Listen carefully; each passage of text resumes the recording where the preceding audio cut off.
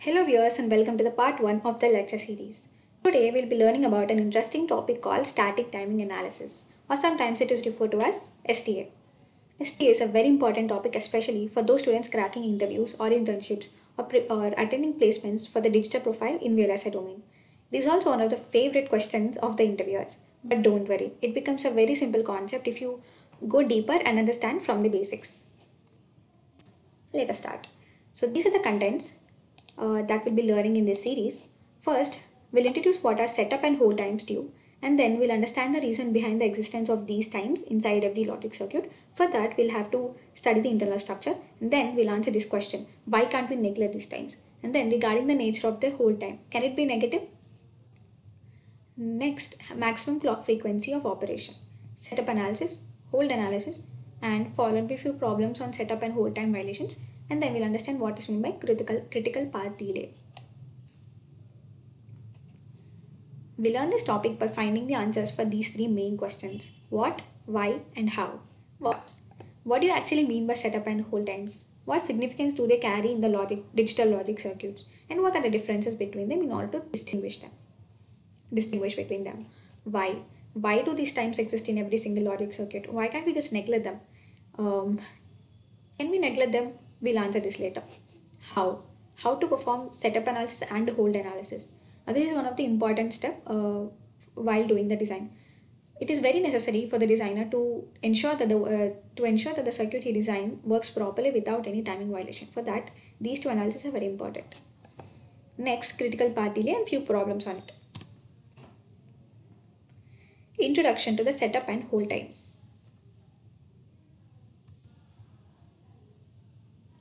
Let us start with the basic working of a simple D flip-flop. What is a flip-flop? A flip-flop is a fundamental block in the sequential circuit that has two stable states, 0 and 1, or logic 0, logic low and logic high, and it can store 1-bit binary data. This is how a D flip-flop looks like. It has one data input, a clock input pulse, and uh, Q and Q bar is the outputs. The function of a D flip-flop is to operate only at the positive edge transition or negative edge transition of a clock. See, this is the example of the positive edge transition of the clock. And that means the D flip-flop is completely insensitive to any input changes in the D input, except only except uh, at the positive edge trigger of the clock.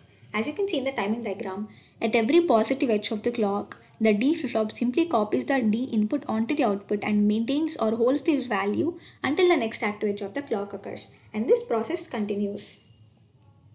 So now it is very simple uh, for us to form the equation or expression for the next state. That is Qn plus 1. See this is the present state. So next state will be denoted with the help of Qn plus 1 and that will be equal to the data present at the previous clock, nothing but D. So Qn plus 1 is equals to D. So again there are two types of D flip-flop. We have positive edge trigger and negative edge trigger based on the nature of the clock. But wait a second. We'll analyze with the help of timing diagram. This is the illustration of a timing diagram of a positive edge uh, D flip-flop. As you can see, uh, let us consider the D input to be stable at logic 1 for certain time. Okay. Now at every positive edge of the clock, the output also becomes 1 and maintains its value until the next active edge occurs.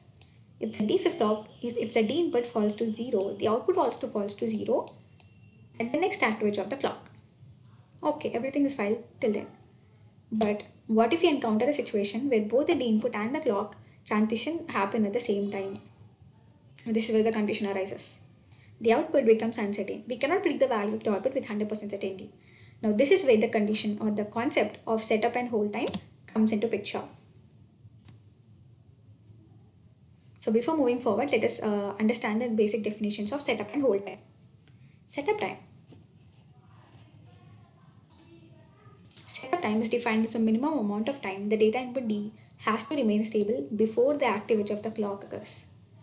This is necessary to ensure that the data is successfully latched into the device. Hold time. Hold time is defined as a minimum amount of time the data input D must remain stable after the clock edge, after the active edge of the clock occurs. And this is important to ensure that the captured data is properly uh, maintained and not corrupted.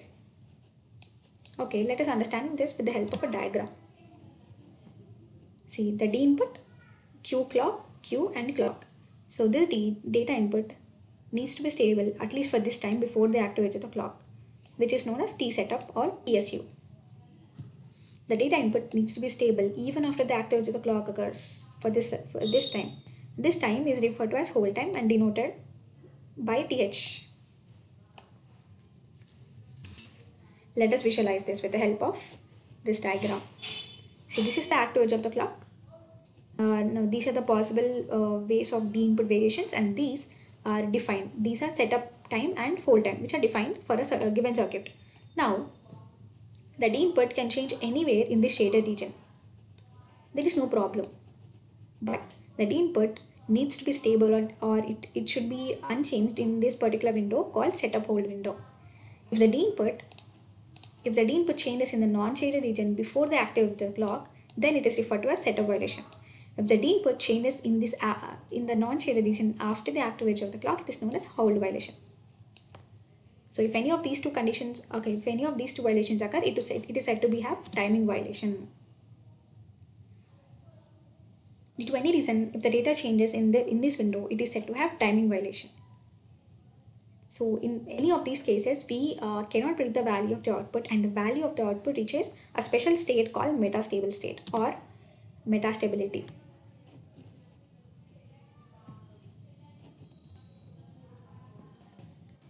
Okay, so as I was saying, if any of these violations occur in the setup hold window, we cannot say the value of output with certainty and the, and the output lies somewhere between the logical 0 and 1.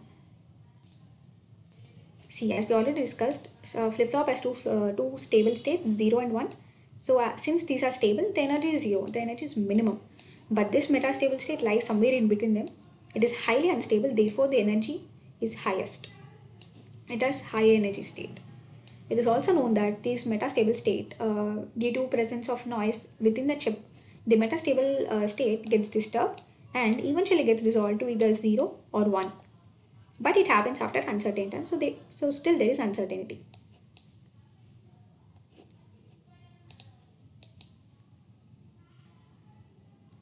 Okay so till now we have uh, understood what uh, setup and hold time violations with respect to a flip-flop. Now we'll see this with respect to a system.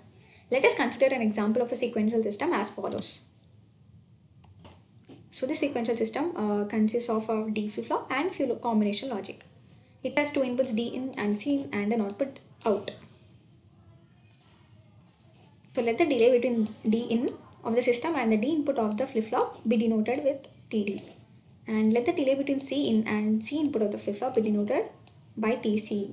So there are two possible cases for these uh, TC and TD. First case, TD greater than TC which leads to setup violation. TC greater than TC which leads to hold violation.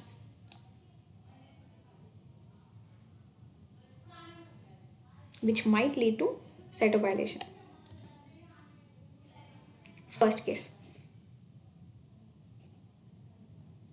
TD equal to 3 nanoseconds and TC is equals to 2 nanoseconds. This is the timing diagram. Uh, let us apply the in at t equal to 0. Let the in be applied at t equal to 0. Now it takes TC, TC time that is it takes 2 nanoseconds to get reflected at the C input of the flip-flop. See, now it is here. Now in order to meet the setup violation setup time requirement, this data input needs to be stable at least for one second, at least for one nanosecond. See, we have assumed that the setup and hold times to be one nanoseconds. Let us say the D in of the system is applied somewhere here or it is stable for this time.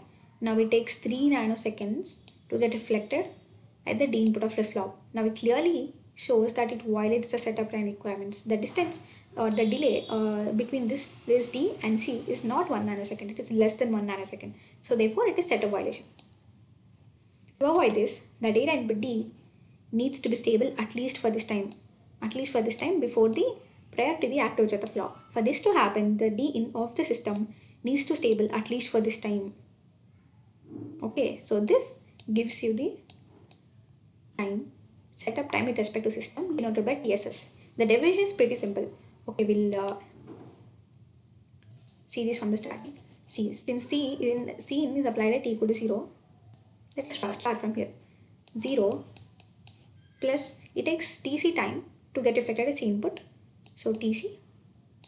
So always remember if you move, move in this direction it is positive. If it in if you move in this direction it is negative. So 0 plus TC and then setup time is in this direction with respect to C. So minus TSU and then TD is a delay between T in and D with respect to D in this direction. So minus TD. Now this will give you the location of D in with respect to C in. That is in this direction. So minus TSS. So on re rearranging we get TSS equals to minus TD, TD minus TC plus TSU. On substituting the values we get T minus 3 minus 2 plus 1 equal to 2 nanoseconds setup time with respect to the system.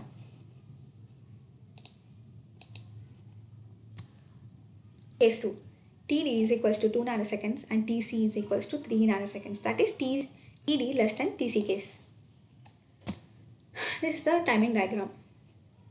Similar to the previous case, CACN is applied at t equal to 0 and that is the start of simulation.